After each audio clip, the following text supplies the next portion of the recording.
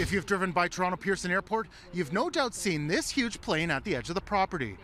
But after being parked here for more than a year, it could finally be on the move. It was on February 27, 2022, when this Russian registered Antonov 124 touched down at Pearson. It was bringing a shipment of COVID 19 tests. But hours after it arrived, Canada's transport minister ordered Canadian airspace closed to all Russian aircraft in response to the invasion of Ukraine. Ever since then, it has sat empty near Highway 427. Fast forward to earlier in April, when Ukrainian Prime Minister Denis Shmyhal visited Canada as the federal government announced new sanctions, including ones against Volga Dnepr, the owners of the cargo airplane at Pearson. In a Facebook post on Sunday after wrapping his trip, Shmyhal said preparations to seize the airplane and other assets are underway and that it could be transferred to assist Ukraine.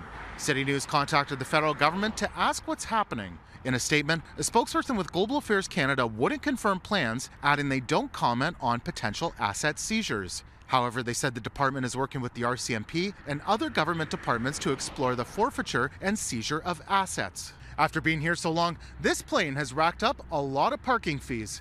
The Greater Toronto Airports Authority charges this class of aircraft $1,108 a day to sit idle on the apron. To date, that works out to roughly $460,000. However, it's not clear how or if those fees will ever be paid if the Canadian government seizes this airplane. At Toronto Pearson International Airport, Nick Westoll, City News.